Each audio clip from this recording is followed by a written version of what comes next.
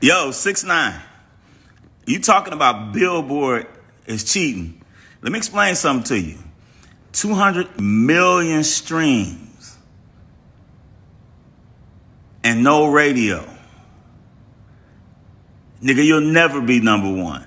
200 and mil. Listen, you got 200 million streams and not nobody playing your shit. Your shit don't even come up in Mediabase. What makes you think that you're gonna go number one? Congratulations on telling. Congratulations. But nigga, you're not gonna be number one with no radio. Y'all stop that shit and niggas ain't out touring. So you need radio. That's why you're not number one.